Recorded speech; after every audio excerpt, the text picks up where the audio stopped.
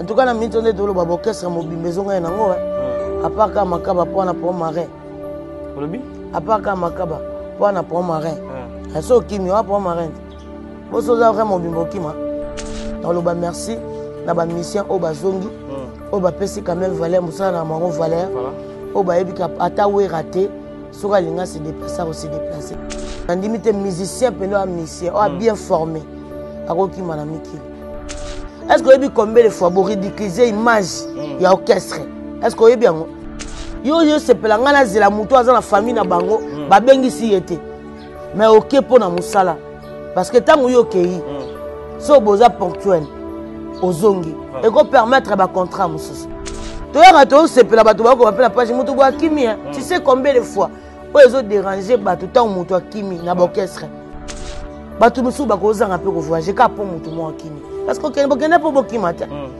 bozosala mosala mais bozo comprendre te nini bolingi mpe nini bozali nani yango okesa analyse atanga elokoma café rum e mpasi na ndenge wana aotanga te mm.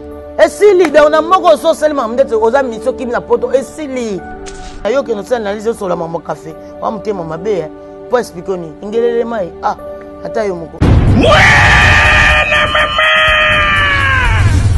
fini le stress na kati ya etats-unis resto chez liza loboko mpo na kolia biloko kitoko repa ya bana afrika communauté congolaise communauté africaine ezala baspanish mpe baaméricain yaka odeguste fufu ya bacongolais Chez Lisa Loboko, awa kaka na Champaign Urbana, Illinois, USA, esika wapi okokuta meni lokola ntaba, motu ya ntaba batula dongodongo, nkoba ya komweta pilipili, mpakasa na mosaka basambwisa yango na ngaingai.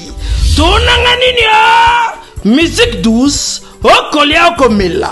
Kasi, kobosana te karaoke, detente mpe baaktivite ya ndenge na ndenge. Mama Liza, mofinuku ya Etats-Unis, apesi bilengi na kati ya champagne. Yaya! Awa! Yaka olia madesu batula mabumu ya ngombe ya sexy. Ah! Awa nde epai bilengi elali stress na Etats-Unis abu oo pia eyakani ye oyoki omoni okomprendre simba kanga mpe bombake adresse na biso ezali se moko 208 west Greeks Street, Urbana, Illinois 61801 Liza Loboko, Mufinuku ya Etats-Unis, Nzambe ya makusa.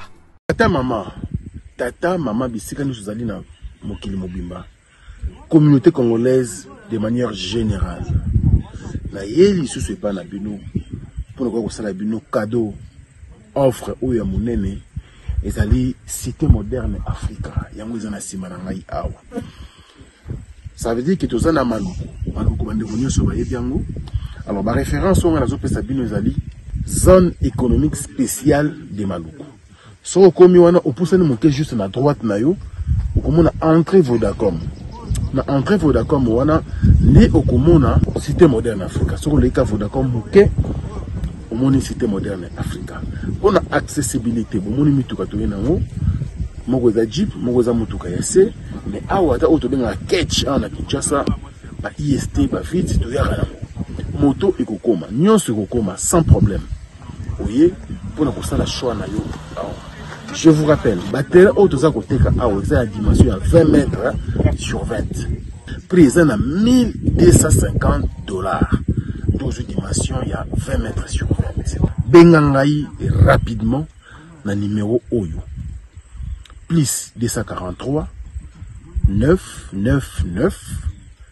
52 66 52 Munwe qui a dit que Bandule kozonga te chez Djonga chez Djonga 3 azongeli base na ye na Paris oyo esika bozalaki kolia komela pe koyoka ntule na niveau ya deux fois te boyeba ke bilenge ezongi na Paris na niveau ya kosakana te chez Djonga 3 awa chaque week-end bilenge ezongi ya ndule à partir ya le 17 février 2023 ouverture officielle ya bandule bokozwa chaque vendredi Suzuki Luzubu 4x4 grand chanteur de mon pays à partir ya 20h jusqu'à l'aube pe samedi bokozwa CNN Alligator na baninga tout awa bokosepela jolie kitoko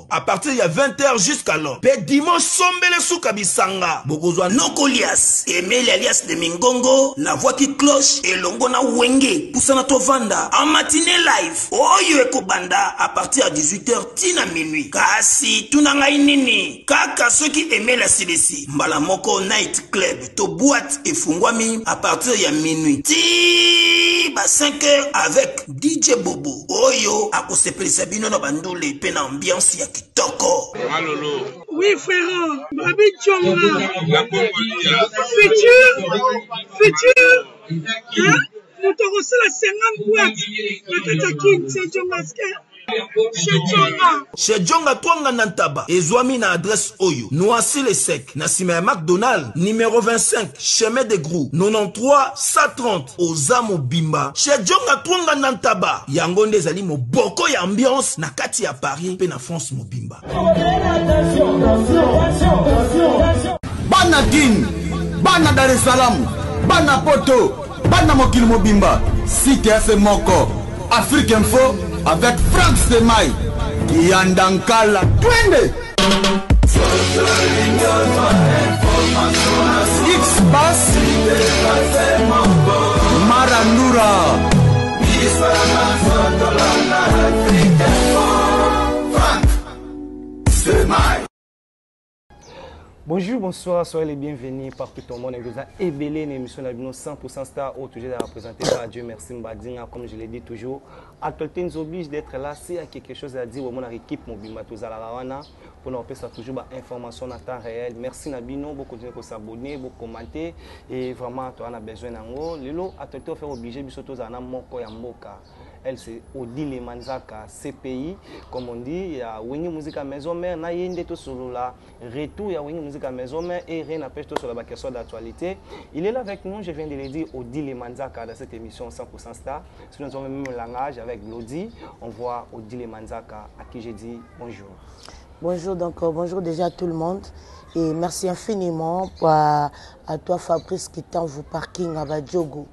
Merci mon frère chéri, merci pour tout.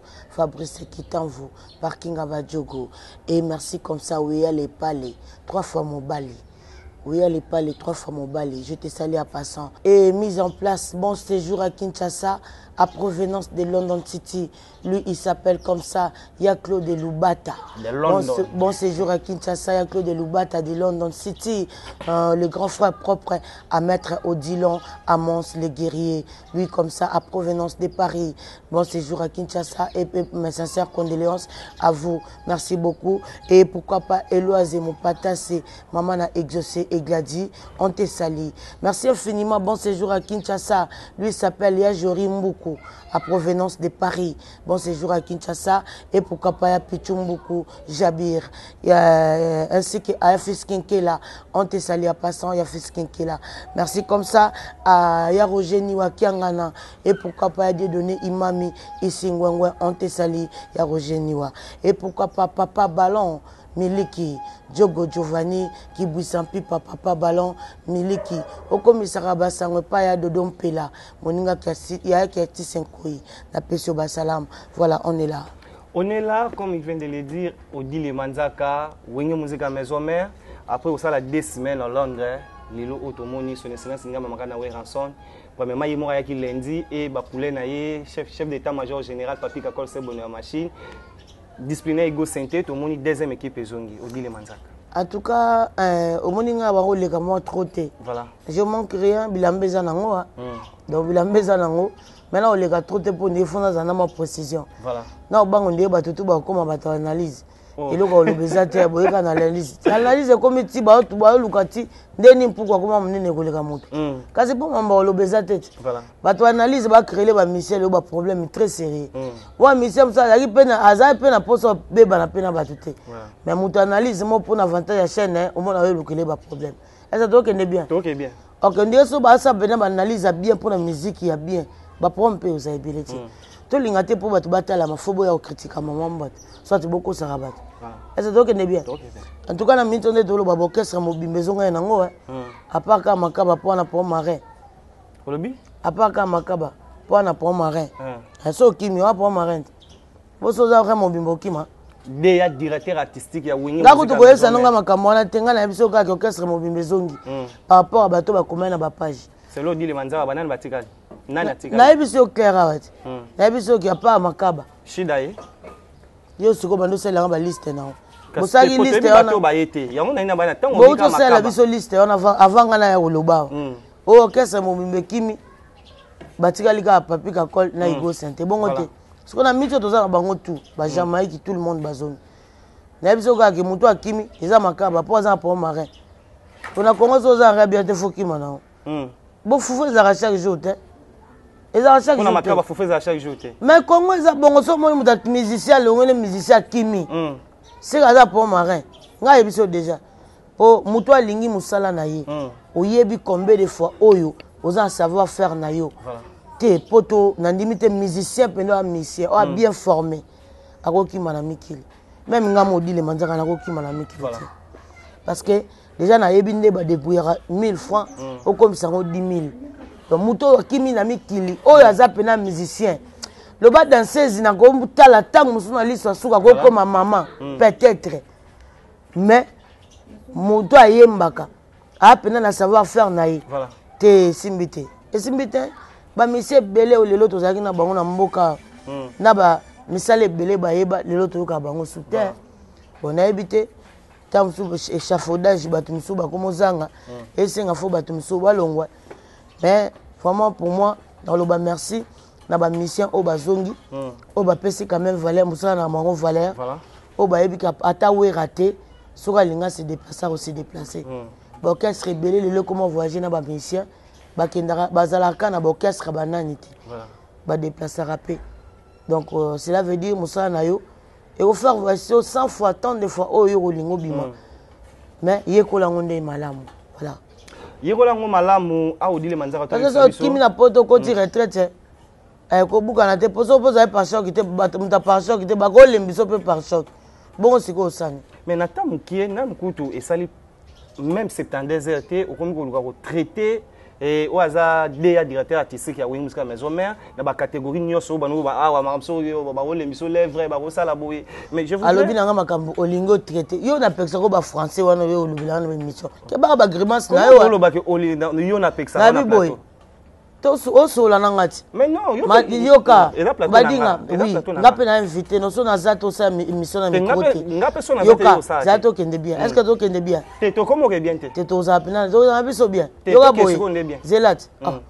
Badinga oso wana odile manza kati. Oso wana madinga.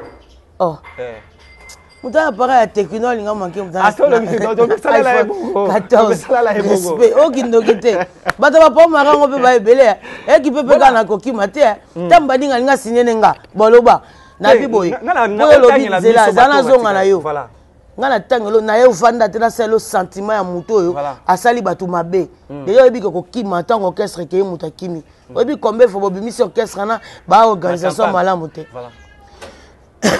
est ce que oyebi yango est ce que oyebi combien de fois boridicuise image mm. ya orchestre est ce que oyebi yango yo oyo osepela ngai nazela moto aza na famille na bango mm. babengisi ye te mais oke mpo na mosala parce que ntango yo okei mm.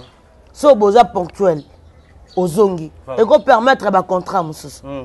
est ce que oyebi te ke oyo kobebisa toute une contrat ka contrat e, mobimba ekokufa ka mpo na motu moko mpo na absence ya motu moko parce que boza crédible te toyaka tosepela bato bakoma mpe na page motu boya kimi hmm. tu sais combien de fois oyo ezoderange bato ntango motu akimi na baorchestre bato mosusu bakozanga mpe kovoyage kaka mpo motu moko akimi parce que bokende mpo bokima te hmm. boke mpo bosala mosala boya ozonga motu moko aza te toi tu pense ke ngai naye ovanda mpona bando olata bilamba na ngai boye naye mpona bando osepela mpo tunanga baquestion nde bato bakokoma na bapage nani mpe akimi e te apro marin seke moto abongo na osepela na ye te ton ennemi ya wera aza ennemi ya odile manzaka donc bakomi da ba ennemi ya weranson lokola cg junioroyebi na yo te te katakata yo koyebisa makambo wana te cg junior amasra na yo te aye te aye te bui bongo ndenge bakenda bongo eza cg katakata aza motu alandela badossier n'est ce pas ye aye te we aye te te mpo ke eza makambo okima te hmm. na motu oyo ngai na oyebiso a ah, natangi da kombo te nazoke makaba aye te na biso renso eza bien te koya te neti ye yango lobe ana problème ba bon temps nalobaki oyo kati shida il faut abota ba réseau batikali na londres yo mdotie ezemi yo obi aza mama ifa bota ti nalobi boye omoni sikoyo hmm. yokanga bien mpo bato mpe balingi bayokanga navandi awa te mpo nasepela totuna bakestion makambo ya bato bakimi te hmm. je suis ici pour confirmer ke voilà. maka bakimi mm. ese tokende bien voilà. naoya kutu mingi te koloba ke mm. parce que aye te voilà. eya oyambi bapareil baobenga aye sono oyamba te cela mm. veut dire okimi okay. sikoyo kokima wana mpo na nga eya mpena bien te parce que motu ayebi mosala ne mbala ebele hmm. okodimi nango te kaka mpona londres te ya ndenge moko bato balobaki odilaki ete atikali hmm. mai lelo toza na bango awa eza tokende bien sila vedi bakuti nga kaka ndenge moko so mpe nakendaki hmm, tonga tozonga kaka eza mpe motu amati likolo akita kaka na se ata okokende na new york ata okende na mboka nini omata likolo suka na yango bokitaka na se tokotambola kaka nde bato tu batambola seke eloko ya grave na mokili ezalaka te mm. mais sala effort orendre mutu oyo mm. asali ata effort orchestre ebima azala mpe crédible ata na baambassade kolongwa na yo moko ekofaire boitise orchestre mobimba opesi biso ntango mosusu défaut ya bavoyage mosusu kaka mpo oyo okimi mm. or makambo ya bavoyage ezodépendre kaka na wera te mpo moto avoyage nde bato baloba nango dilo okendaka te hmm. nakoyoka mpe kanda te nabamona nga nabeti mwa tour ya turki eh. nasala yango te pani mpo ngai makambo ya booloba na nga eza ndenge moko te hmm. tokopesa baraison te bato bakimelaka te mai kokima mpe ya bia tokuti okende mpe nini mwanda awa akima ete mpona bakima ete mponani eza mpe ka voyage mm. cela veut dire bozosala mosala mais bozo comprendre te nini bolingi mpe nini bozali ngai nayembaka te kasi ngai nayembaka nabinaka me nazodile manzaka te soki etema na rompo tuni odile bayebi ye oyebi te mm. badinga vanda nanga bien zia siko na memo place oyo nangi naya na yo mpo nalakisa bato omema bato baotala biso sempa mbadinga pas de problème na yo na bango boya na kati kolakisa nini a ah, te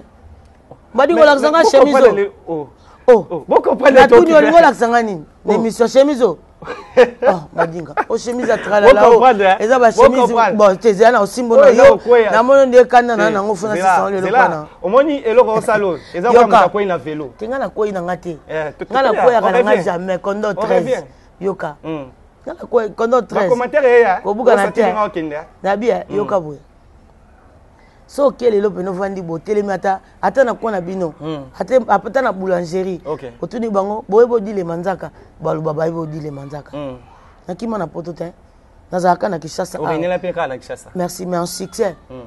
est ce tokende bien nakenda matanga te moko bakundaka nakendaka bwati te namela masanga te nasalama bato ya succès te mais nayebani Mpo ya nini? Parce que nalingi nazala oyo nalingi. Si je viens quelque part, bato ba comprendre que odila ye. Nga mom na mikomisa bongo. Mm. Wera m'a créé, je me suis créé encore. Navandaka te que nazela kaka te, il faut répéter Wera. Non.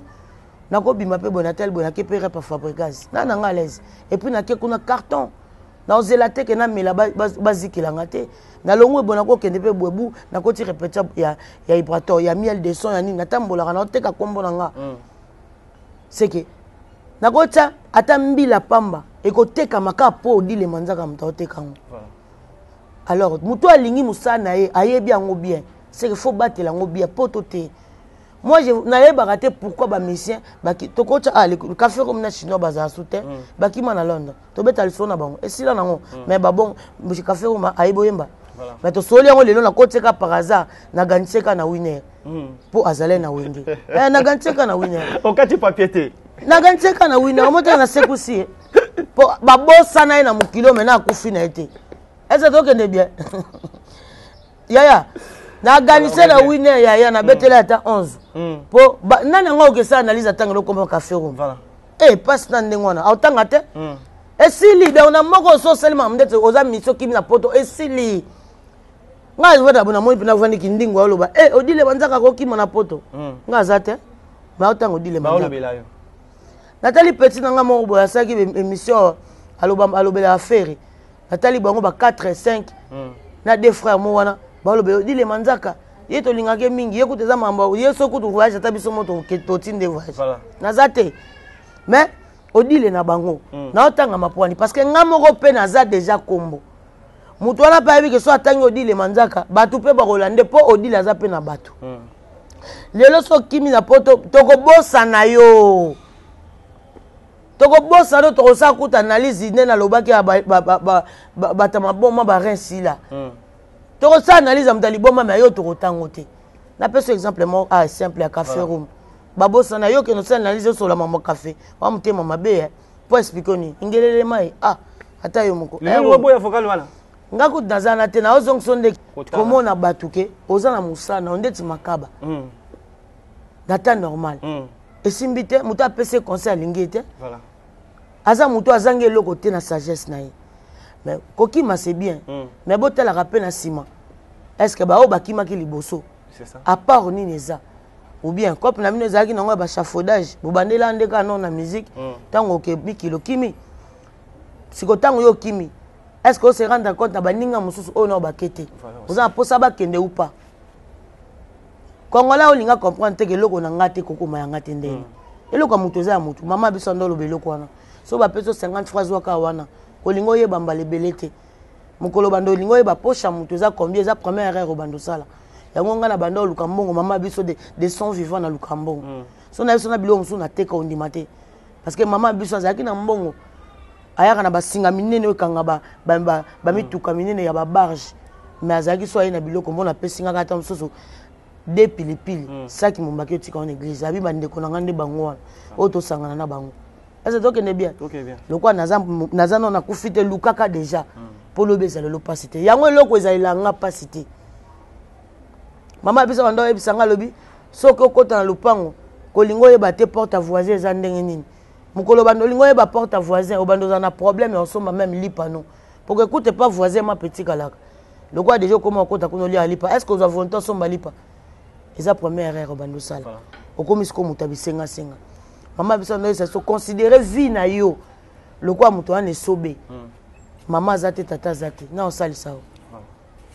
donc soki ovivre na mokili lokola moto oza na esobe hmm. ocomprendre la vie c'est quoi ndenge na comprendre la vie c'est quoi bato bacomprendre te na kabaka elingi oloba teke na millionnaire hmm. mais naokaba mpo natangaki mingi kibomoto kibomoto na ngai eyebisa ngai teke so naa na 1000 francs naboya opesa moto moko boye hmm. mpo ngai naa na moto mpe apesa ye ngai te te kibo moto na ngai eyebisa ngai napesa ngai nazela soki mpe moto mosusu akopesa ngai merci beaucoup ngai nakoya kovanda te nasepela moto akimi mpenza hmm.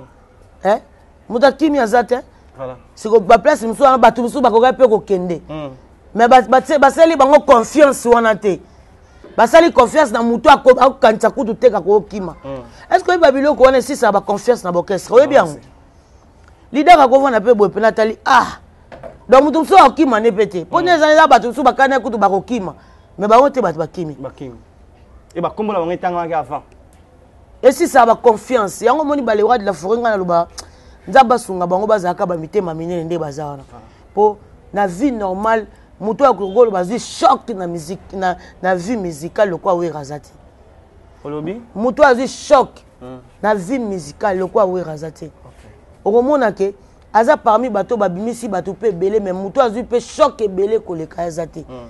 mais atikalaka kaka wera mpe na motema monene kobukana te ata bapapa chéri baza mpe na bamise bauta mpo na bango eh. voilà. mais so tozongisi meme ata omona bamusicien oyo peut-être bauta mpe na maison mère excuse baémission mpe mosusu mm. na bamusicien mosusu balongwa batala baquartier la tata na banini omonake baoyo balongwa na wenge mm. bashoka wera trop mais etant ke moto nzambe atindaki parce que nzambe so destin bato eza yo olinga mm. olinga te oza na choix te okokende bakimi 1 million mais yo des yo yo rôle na yo yango wana merci beaucoup so nzambe alobaki odile manzaka obonga mm. na nsima nowera mm. oboya olinga ekomama ebongo eza tokende bien voilà yango naye koloba ke nga nakoya te eh, mbadinga omoni koto nani akimi mm.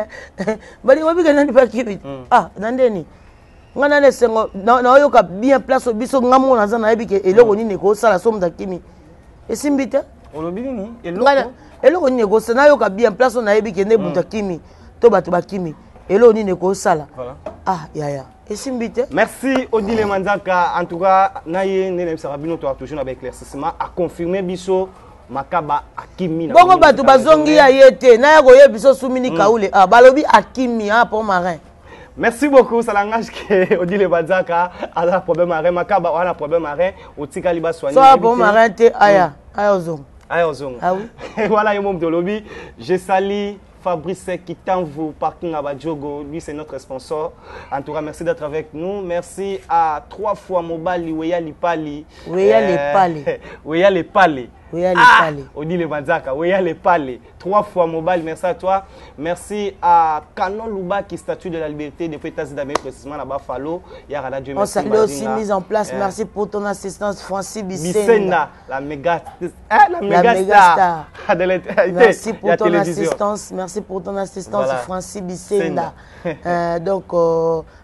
la méga star, comme mm. dit Dieu merci Mbadinga. Voilà. Donc merci beaucoup pour ton assistance, on est là. Merci, je disais, et Nabatou et Bélé Baota la Bissouana, je salue fierté de la République, eh, maître Tani Diaka.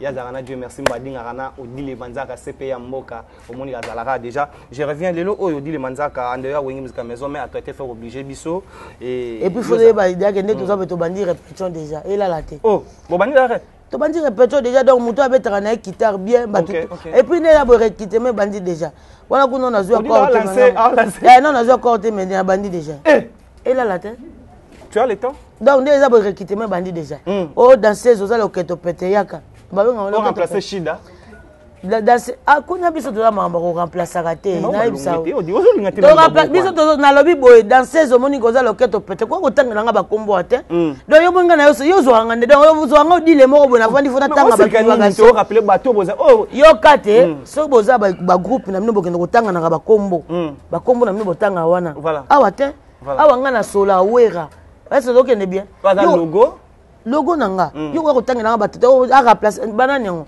donc yo ozokanisa kende nani yango yo okanisi kaka kolongwa lelo na wenge bon mm. tokee kaka wana te eh. oyedekone pamba kanda ezosala nga zala mpena yo abile oyebike bato ebele bato mpena ntuka na temps normal mm. bato ya kitare tolingi bato oteke ozala nkombo koyano te o oh!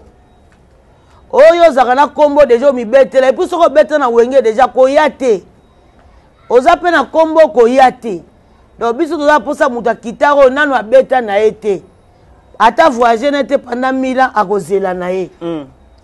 toboyi na biso ngai moto nabetelaka michael jackson tia bamba na kweya lala kende na lala pongi kende na majabu mm. o oh, ngai moto na nabinaka ntango michael lewis ayaka kokanga bato na sayo mm. kende obina na majabu biso toza na posa bato oyo nanu abina te aza na posa formation voilà. guitariste oyo nanu asoliste oyo nanu abeta te je dis bien ke nanu asimba guitare te mm. parce que ça n'est de trop s'en prend la tête okay. so tolobi tozongisa o oh, bato moto azalaka da na nkombo koya na yo te yaya toza mposa mpena wera c'est un grand formateur mm. aforme ya sika epuis toza na frère na biso autaki angola wana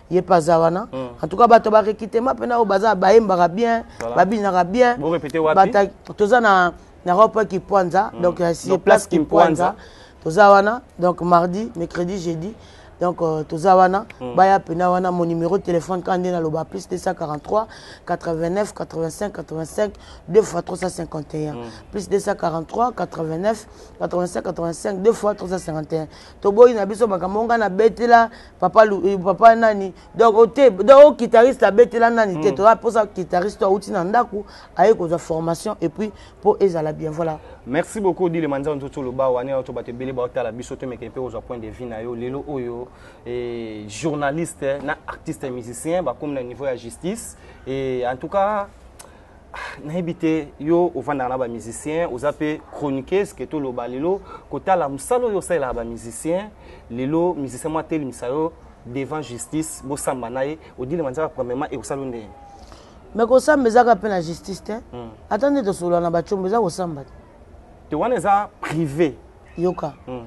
nde tosola na bacombe eza kosamba te so tuni nga boni nayebi bien hmm. tosamba kaka ti yo wansi mpo moto asamba esengaka fo eh, elamba noir na pembe eza liboso kosamba tu nyonso eza kosamba hmm. nde tovivoka boye tosamba kaka olati mpo bonga mobima okoki osamba te bongo te olali eza kosamba okati mwa vie okati mwa vie ya kosoloki olala yaka kosamba vie tosambaka kaka elingi oloba te ke mpo moto ake ofunda yo nde okomisi ye mabe te mm. moto mosusu akofunda okuta asali yo bien mpo obimisa savoir faire na ye na niveau na ye ndeti nga boye so moto ofundinga osali mabe te mm. osali mpena bien mais faut avoir des épreuves tangibles kofunda moto ezalaka mabe te eza tokende bien bakoselo nde makambo nde ekomi mabe mais so moto afundi yo tout le monde akofunda moto mm. eza nango mabe te Kofunda eza bien. Mais bakosa yo nde makambo nde ekoma mabe. Hmm. Makambo bafundeli yo ndeti nga bakosela nga makambo. Voilà. Okaba esalaka bien yango boni bambuya nga pe te, hmm. bafilma nga pe te. Mpo nayebi cole pénal. oyo osalaka dese ti boye boye na bozinga na biwi bobima na elata bilamba nayebi ke nde na boye ntango oke funda nga fozala na bapreuve tangible mpo mm. nga nayebi code pénal nakoloba oyo oh, te mpo efunda te ofingi naye korépondre soki efunda yango oza liboma mm. parce que ngai naye korépondre naye kofinga te nakomema ya ba ata yo te mm. mais bato wana so balobaka nkombo na yo comme les analystes faites les analystes tout le temps na babankaka bato ba respect mm. et il cite le nom de quelqu'un so nga na ye mm. ne pense pas que moi je vais passer pour les analystes non moi je vais venir directement mm. de passer la borne nake tout droit na président na bango Et moment je vais choquer si le président a, a, eu l'audacité d'aller kokufunda Odile le manzaka. Vous comprenez voilà. Tant que l'analyste, c'est ça l'analyse. Mm. Peut toyebi lelo ke l'analyste baza ya orchestre peut-être Kingandi. Mm. baye basala analyse analyse peut-être mpo na makambo ya wera mm. eza déjà en dehors ya makambo ya orchestre na bango voilà. est ce que tokende bien okay, bien soki boye kosala analyse peut-être ata mosusu tokoloba baanalyste ya feri mm. boza sense ya kosala peut-être analyse kaka mpo na feri mm. soki bolongwe na, na feri bokomi kosala analyse nta mosusu ya makambo mosusu mm. ata tokende bien okay, bien soki bato wana baye barépondre bino soit na bango boza betiraillement mm. wana eza ndenge mosusu mais boye kosala biso toza baanalyste te hmm. eza ocomprendre biso toza baporte parole bino boye kosalela wera na biso analyse hmm. nga ntango nakoya nakoya kosalela bino analyse te hmm. nga nakoya kotouche mama leader na bino ntango nakotouche leader na bino soki akoki charge te ake koporte nga plainte nakozala na raison parce que bato wana ata olobi ke eza nga te baloba te baoloba nkombo na yo parce que baloba baza ntango mosusu baanalyste ya kingandi yeah, yeah, donc cela veut dire oyebi bango mm. leta kozala na posa yo oyebi bango totinda bango te wi mais aza na posa preuve wana nalobaka mm. preuve ekoki kozala na nini ata na foto voilà. seke baza ya yo yango ngai nalobaka na bato kende no kofunda nga mm. okolembisa no batalon na yo na kotambola ngai oh famille ya bapoliticien boyoki efundaka ozo mm. comprendre voilà. donc ntango na oke kofunda nga mpo nafingi yo mpo banaliste olobi ya nga te bango mm. basala banaliste baoloba me basala banaliste na nkombo ya nani mm. banda babanda yo oyokaka te ke bafingaka bato na nkombo na yo yo eske oporte moto plainte pourquoi merci beaucoup dile banza lelo kotala olingaki koloba oyo baporte plainte c'est pas mal aussi si aza na bapreuve te tangible est ce que ye dérange ya problème te bakeka osala mwa batour ti ole balala mingi olobi bakeka osala batour ba aller retour ti mais heure mosusu okozala mpe oza pesa kobima te babe to batuka na lapu na gini odila uta na mai obi non nde alobaka kaka akamta bien te mayebi nanga so nayini motu nayini motu oyina mpe bato yaka bato yo oyina mabe kutu nalingaka kutu ata masolo neta nani misien wana ti Merci beaucoup Odile Manzaka, je salue mon vieux Rio de Janeiro de BCBG. Donc maître euh, Tani euh, Diaka, le maître le plus euh, pesé de sa génération. On te salue maître Tani Diaka Yoebi. Voilà. Et pourquoi pas à Alex Intime tombé du ciel mon ami, à Koya Abambama, mm. à Koya Abambama Alex Intime, on te salue. Président Bilankolo yanga ya palais à Kati papa chou.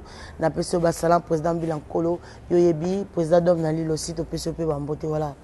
Mwana mama! Fini le stress na kati ya Etats-Unis. Restons chez Lisa Loboko mpo na kolia biloko kitoko repas ya bana Afrika. Communauté congolaise, communauté africaine ezala ba Spanish mpe ba Américain yaka odeguste fufu ya ba Congolais Chez Lisa Loboko, awa kaka na Champaign Urbana, Illinois, USA, esika wapi okokuta meni lokola ntaba, motu ya ntaba batula dongodongo, nkoba ya komweta pilipili, mpakasa na mosaka basambwisa yango na ngaingai. Tunanga nini o? Musique douce, okolia okomela. Kasi, kobosana te karaoke, detente mpe baaktivite ya ndenge na ndenge. Mama Liza, mofinuku ya Etats-Unis, apesi bilengi na kati ya champagne. Yaya! Awa! Yaka olia madesu batula mabumu ya ngombe ya sexy. Ah! Awa nde epai bilengi elali stress na Etats-Unis abu oo pia eyakani ye oyoki omoni okomprendre simba kanga mpe bombake adresse na biso ezali se moko 208 west Grix Street, Urbana, Illinois 61801, Liza Loboko, Mufinuku ya Etats-Unis. Nzambe ya makusa. Tata mama, tata mama, bisika nyonso ozali na mokili mobimba, communauté congolaise de manière générale, naye lisusu epai na bino mpo na koya kosala bino cadeau Offre oyo ya monene ezali Cité Moderne Africa, yango eza na nsima na ngai awa. Ça veut dire que toza na maluku maluku, bandeko nyonso bayebi yango. Alors ba référence oyo ngai nazopesa bino ezali zone économique spéciale de maluku. Soki okomi wana opusani moke juste na droite na yo okomona entrée Vodacom na entrée Vodacom wana nde okomona Cité Moderne Africa. Soki oleki ka Vodacom moke omoni cité moderne africa mpo na accessibilité bomoni mituka toye nango moko eza jeep moko eza motuka ya se mais awa ata oyo tobengaka ketch awa na kinshasa ba ist e bavite toyaka yango moto ekokoma nyonso ekokoma sans problème oye mpo na kosala choix na yo awa je vous rappelle batere oyo toza koteka awa eza ya dimension ya 20 mètre sur 20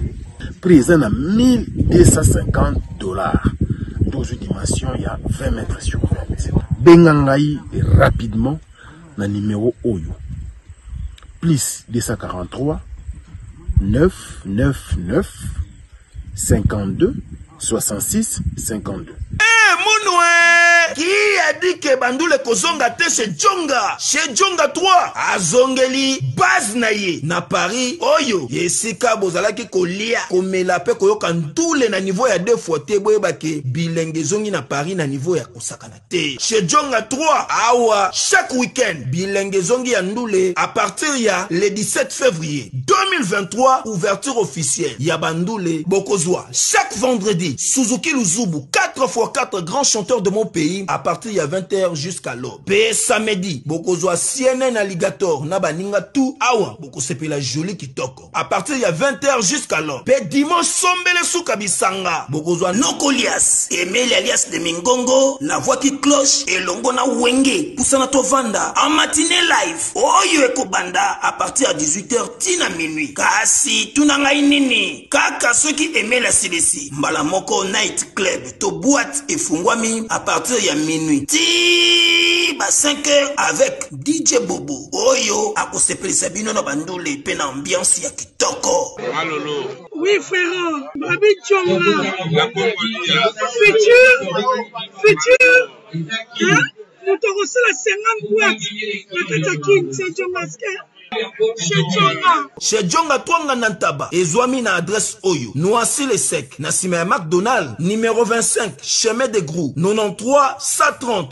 Oza mobimba chez djonga twonga na ntaba yango nde ezali moboko ya ambiance na kati ya paris mpe na france mobimba